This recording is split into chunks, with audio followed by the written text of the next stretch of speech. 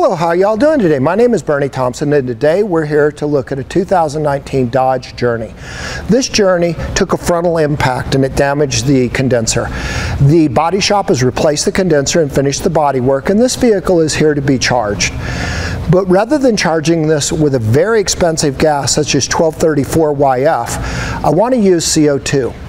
If I was to use YF gases on this vehicle, what's going to end up happening is if I charge this and I find a leak and I got to recover the charge, I'm going to lose the last 15 pounds.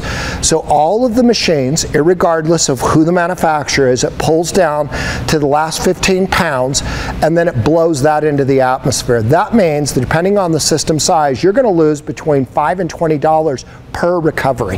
That's very expensive. A really great strategy is to use CO2 gas instead of YF. I'm going to charge the system with inexpensive CO2 gas. I'm going to get several gains on top of just the expense part portion of this.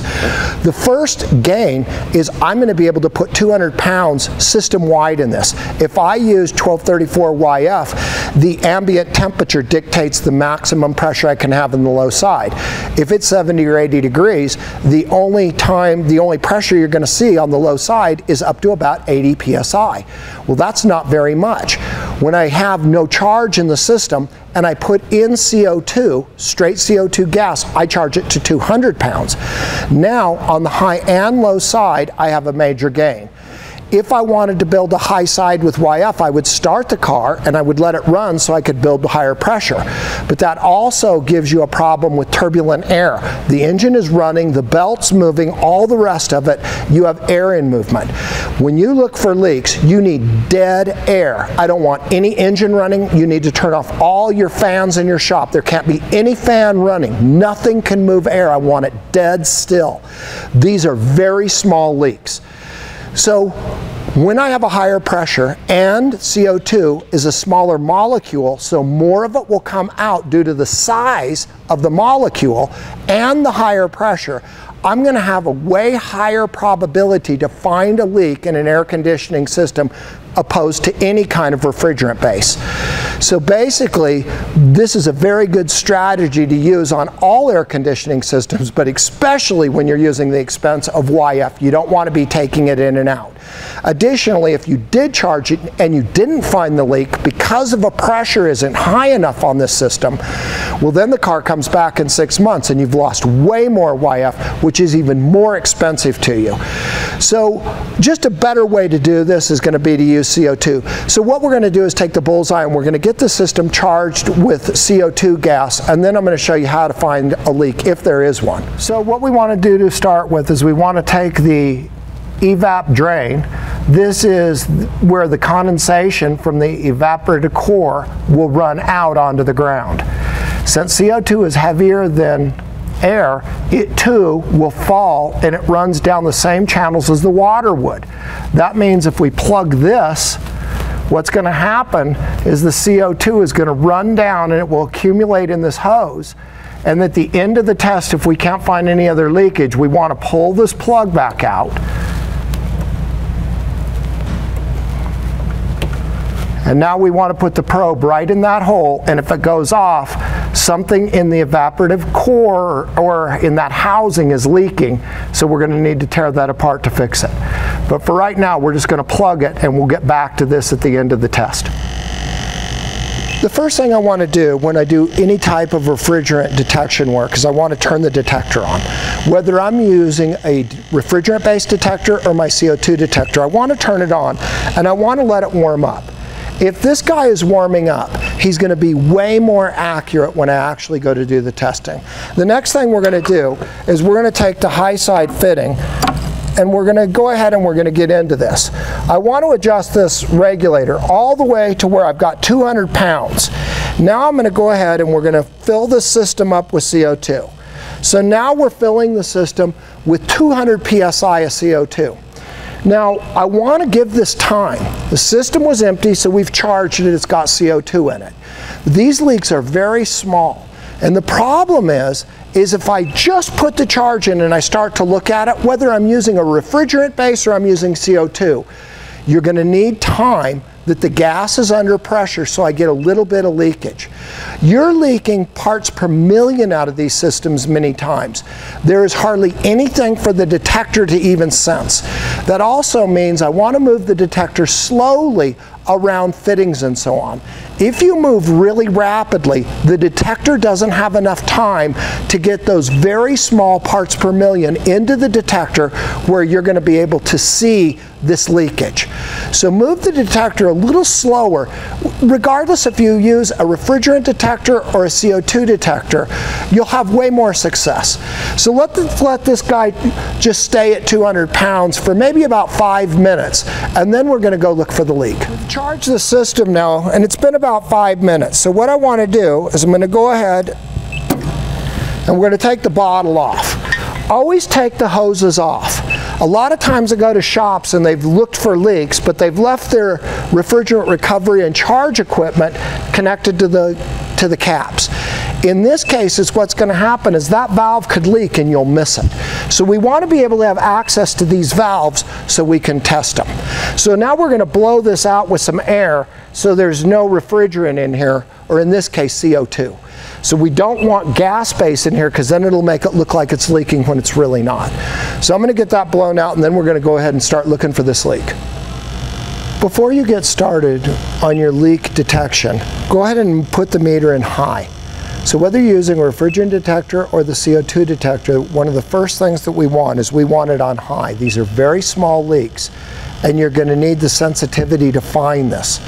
So I always move the detection system I'm using on high. Then one of the first things I want to do is I want to come in and I want to look at the service ports just to make sure that the service ports don't have a leak because that's a very common leak that I could have.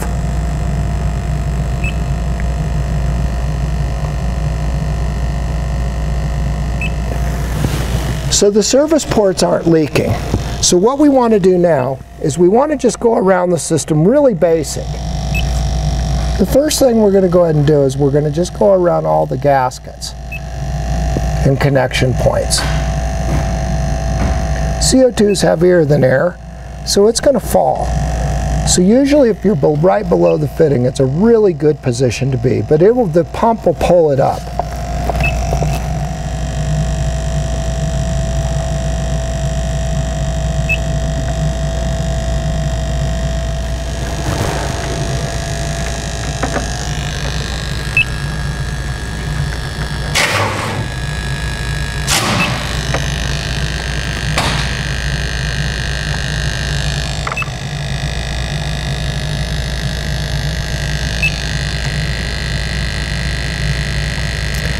Sometimes these fittings like this have holes in them.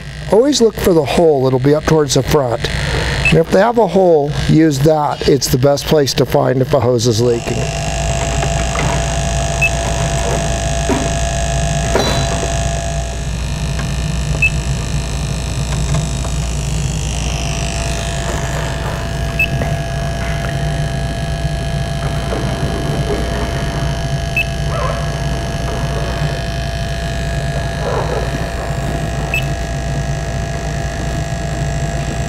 We're going to go ahead and raise the car up so I have better access to the lower hoses in the compressor. Now that we've raised the car, let's go ahead and check the lower hoses in the compressor.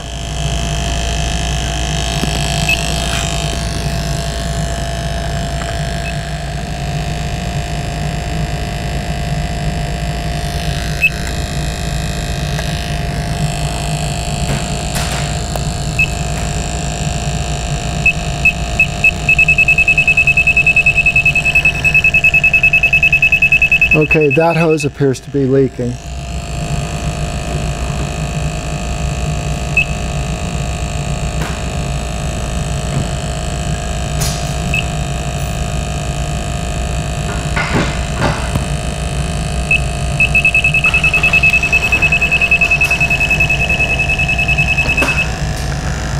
Let's go ahead and re-zero this now. Once it's totally cleared, you only re-zero something once all of it's out.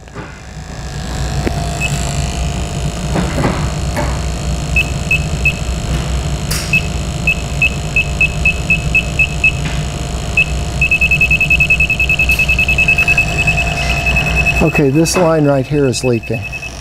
This fitting has a hole in it, and these holes are the best place to get your sample from. It's in front.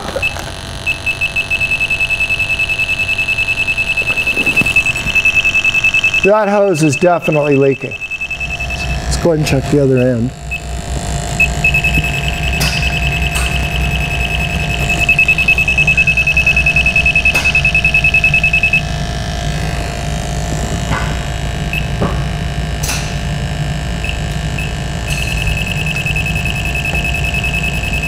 Okay, both ends of this line right here, this low pressure line, they're both leaking.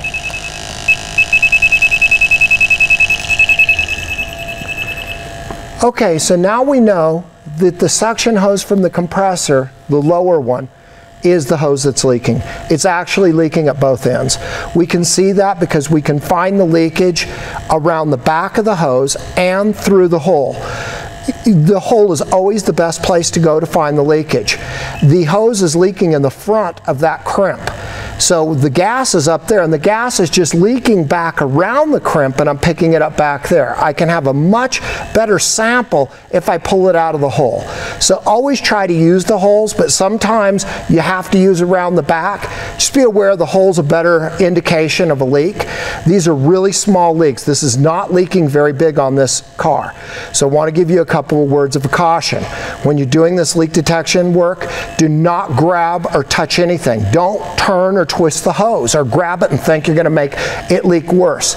You might find that you temporarily seal that hose and then it leaves and you never found the leak.